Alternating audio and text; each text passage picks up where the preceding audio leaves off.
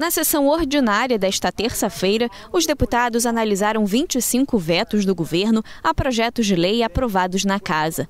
O primeiro veto analisado foi ao projeto que possibilita a suspensão do cumprimento de metas fiscais orçamentárias durante estado de calamidade pública, como é o caso da pandemia de Covid-19. De acordo com o texto, a suspensão das condições estabelecidas em termo individual de concessão de regime diferenciado de tributação ainda ocorrerá por meio de decisão fundamentada do secretário de Estado de Fazenda. O veto foi derrubado e vai virar lei. Analisado também o veto ao projeto que autoriza o executivo a instituir gratificação especial temporária de insalubridade durante a pandemia de Covid-19 para profissionais da saúde, assistência social, policiais militares e policiais civis, bombeiros militares, agentes da SEAP e do DEGASE, agentes da Fundação Santa Cabrini profissionais do Segurança Presente, Lei Seca e Barreira Fiscal e também Defesa Civil.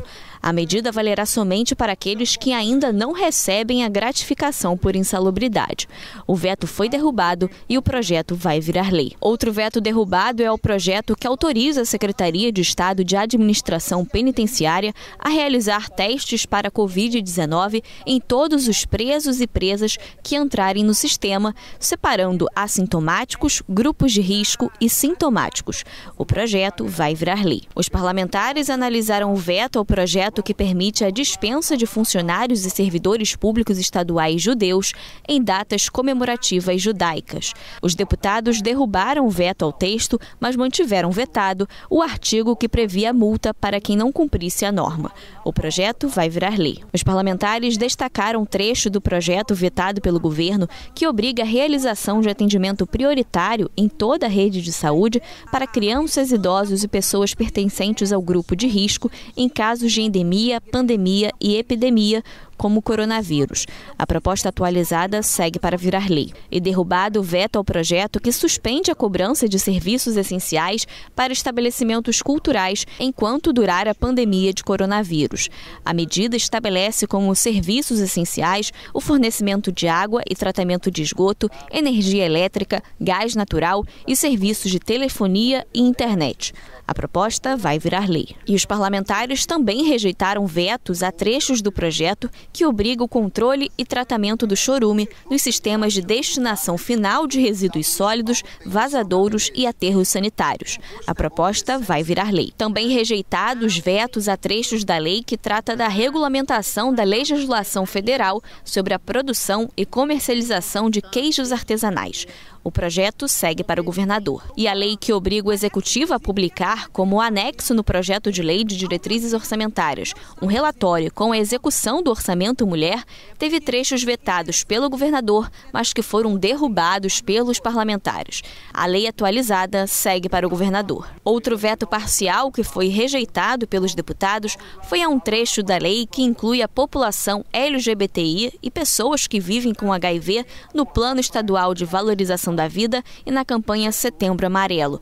O governador tinha vetado a parte do projeto que determinava a realização de palestras, discussões, rodas de conversa e eventos com especialistas.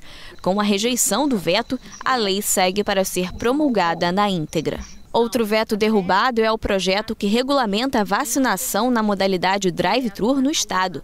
O programa de vacinação prevê o uso de pátios dos postos do Detran ou de grandes estacionamentos e áreas públicas através de parcerias. O projeto vai virar lei. E rejeitado o veto ao projeto que regulamenta apresentações artísticas realizadas na modalidade drive-in. De acordo com o projeto, o público só poderá ingressar no local do espetáculo após medição de temperatura corporal e cada carro não poderá levar mais que quatro pessoas. A proposta também segue para virar lei. Também derrubado o veto ao projeto que obriga estabelecimentos comerciais que vendem peças de roupa a adotar o direito do arrependimento enquanto durar o estado de calamidade pública em decorrência do coronavírus. O consumidor que se arrepender da compra poderá ter o valor pago devolvido ou estornado no caso de compras com um cartão de crédito. O projeto vai virar lei. E o veto parcial ao projeto que trata da política estadual sobre mudança global do clima e desenvolvimento sustentável foi destacado e rejeitado pelo pelos parlamentares. A lei atualizada segue para virar lei e derrubado o veto ao projeto que determina a prioridade de atendimentos no IML para mulheres vítimas de violência doméstica e familiar. A proposta segue para virar lei.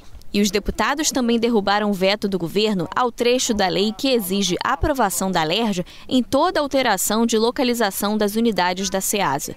Com a rejeição, a proposta também segue para virar lei. E os deputados fizeram destaques ao texto do projeto de lei que estabelece o regime previsto na CLT para ser utilizado nas contratações das organizações sociais de saúde. A proposta tinha sido vetada pelo governador, mas com um acordo dos parlamentares, o novo texto vai estabelecer que o regime de CLT seja implantado nos novos contratos. O projeto vai virar lei.